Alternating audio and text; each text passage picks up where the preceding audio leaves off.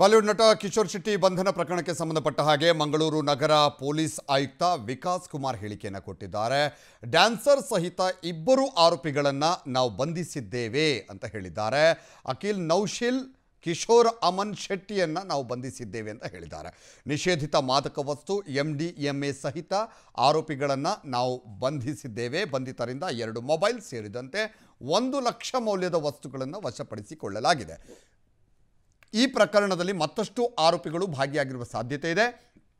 ಮುಂಬೈನಲ್ಲಿ ಖರೀದಿಸಿ ಮಂಗಳೂರಿನಲ್ಲಿ ಮಾರಾಟ ಮಾಡ್ತಾ ಇದ್ರು ಅನ್ನೋದು ಕೂಡ ಗೊತ್ತಾಗ್ತಾ ಇದೆ. ಇಬ್ಬರ ಮೇಲೆ ಸೇವನೆ ಮತ್ತು ಮಾರಾಟ ಎರಡು ಪ್ರಕರಣವನ್ನು ಕೂಡ ದಾಖಲಿಸಿದ್ದೇವೆ.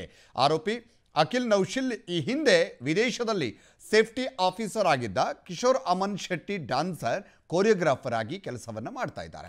ಮಂಗಳೂರು ನಗರ ಪೊಲೀಸ್ ಆಯುಕ್ತ ವಿಕಾಸ್ ಕುಮಾರ್ ಮಾಹಿತಿಯನ್ನು ಕೊಟ್ಟಿದ್ದಾರೆ. ನೌಶೀಲ್ ಇಪ್ಪತ್ತೆಂಟು ವರ್ಷ. ಕಣ ಸುರತ್ಕರ್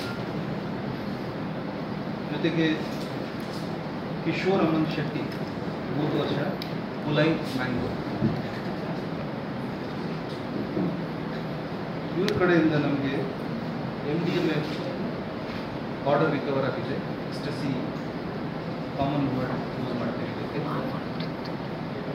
ಆ ಸಂದರ್ಭದಲ್ಲಿ ಅವ್ರ ಮೇಲೆ ಒಂದು ಕ್ರಿಮಿನಲ್ ಕೇಸ್ ನಮ್ಮ ಸಿ ಪಿ ಎಸ್ ಪೊಲೀಸ್ ಸ್ಟೇಷನಲ್ಲಿ ರಿಜಿಸ್ಟರ್ ಮಾಡಿ, ಮುಂದೆ ಇದು ಇನ್ವೆಸ್ಟಿಗೇಷನ್ ಈಗ ಶುರು ಮಾಡಿದೆ